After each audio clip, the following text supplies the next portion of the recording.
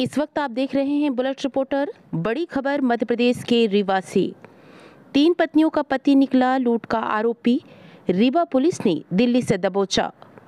बीते दिनों इंटरव्यू देने के बहाने डॉक्टर शैलवाला की बहू को बनाया था बंधक। एसपी ने किया खुलासा, चार आरोपी को गिरफ़्तार किया गया। बीते दिनों इंटरव्यू देने के बहाने डॉक्टर शैलवाला की बहू को बनाया था बंधक और की गई थी लूट। आरोपियों को पुलिस ने दिल्ली से दबोचा है। बुलेट रिपोर्टर के लिए ब्यूरो रिपोर्ट, रीवा।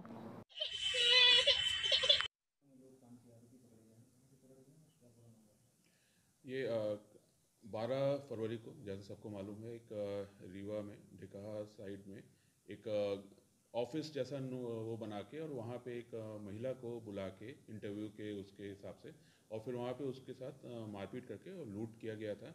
उसके और उनके ड्राइवर के साथ लूट किया गया था और उसके बाद गाड़ी और इन चीज़ें, अंगूठी, मोबाइल, ये सारी चीज़ें ले गई थे और एटीएम कार्ड्स वगैरह भी ले गए थे। जिसके आधार पर तत्काल उसमें मुकदा एफ़ पंजीबद्ध करके पूरी टीम हमारी लगी हुई थी। करीब तीन चार टीम इसमें लगातार काम कर रही थी और जो हमको जानकारी मिली तो उसके बाद हमने पूरा उसको ट्रैक किया। और उसके आधार पे फिर दिल्ली गाज़ियाबाद फरीदाबाद इन सब एरियाज़ में हमारी टीम ने पूरा चेक किया। जो जो भी जानकारी इकट्ठा हुई टेक्निकल इनपुट्स मिलते रहे उसके आधार पे अ, विवेचना चलती रही। और जिसके आधार पे पहले हमको सफलता मिली जिसमें हमने एक राजा चौधरी नाम के व्यक्ति को हमने गिरफ़्तार किया।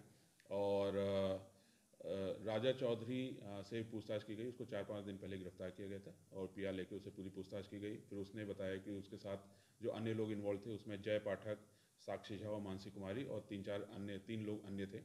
तो उसके आधार पे उसकी जानकारी और बाकी टेक्निकल इनपुट्स के आधार पे फिर इन सब की भी तलाश लगातार की जा रही थी। और जिसमें फिर हमको सफलता मिली कल। और हम इसको जय पाठक साक्षी झा और मानसी कुमारी को हमने कस्टडी में लिया है। उसको गिरफ्तारी करके उसका पीआर अभी लिया गया है।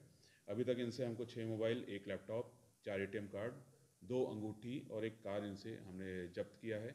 और आगे की पूछताछ जारी है। और ये भी पता चला है कि जय पाठक और इनके ग्रुप ने पहले भी अ, कुछ साइबर फ्रॉड किए हैं और जिसमें से दो केस इनके खिलाफ जहाँ एक भोपाल में एक चल रहा है और एक रायपुर में चल रहा है जो जानकारी अभी इनसे पूछताछ में मिली है। बाकी जानकारी अभी हम उन जिलों से भी जुटाएँगे। प्लानिंग इनकी थी कि यहाँ पे इस तरह से एक पहली चीज़ इन्होंने साइबर फ्रॉड और प्लस लूट का इसमें कॉम्बिनेशन था। पहले इन्होंने एक ऑफ़िस पहले वेबसाइट वगैरह बनाया कि लोगों को भरोसा आ जाए कि ओरिजिनल वेबसाइट है, जहाँ पे आप नौकरी के लिए अप्लाई करें तो इंटरव्यू कॉल आती है। तो उस तरह के वेबसाइट बताएँ उस तरह का उन्होंने कॉल सेंटर जैसा बनाया जिस पर फ़ोन करो तो पूरे डिटेल बताते हैं।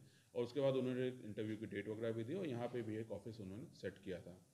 इनका उद्देश्य था कि थोड़ा जानकारी भी जो अभी समझ में आ रहा है, अभी उसके बारे में पूछताछ करना है।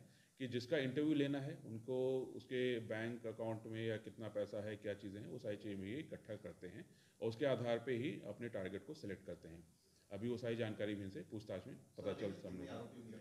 अभी तक चार आरोपियों की गिरफ्तारी हुई है। ये अभी सभी दिल्ली में सेटल्ड है लेकिन सब अलग अलग जिलों अलग अलग जगहों को रहने वाले हैं।